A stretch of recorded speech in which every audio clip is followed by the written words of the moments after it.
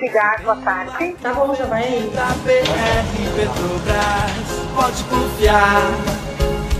É Liquigás. Quem cozinha sabe que na hora de botar a panela no fogo tem que estar tá tudo na mão. Precisou? Tá na mão. Você liga e a gente entrega rapidinho o seu Liquigás.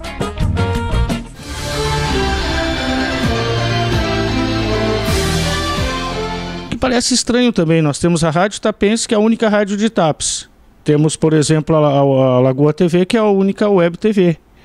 Como é que tu vai abrir essa licitação? Vai vir uma rádio de Camacuã repassar o programa de, de, de TAPES ou a, uma emissora eh, de Porto Alegre, uma web TV ou uma TV para fazer o programa Conexão? Quer dizer, não existe uma contradição aí? Não está óbvio que não tem necessidade de fazer essa licitação devido a essa questão aí geográfica, né? não é nenhuma vontade? Sim, na verdade aquilo foi movido por uma denúncia. Né? A denúncia chega no, no promotor e o promotor toca o processo para frente. Ou tu continua teimando, ou tu termina com aquilo e, e, e faz do modo com, conforme a justiça quer. Entendeu? Eu acho melhor.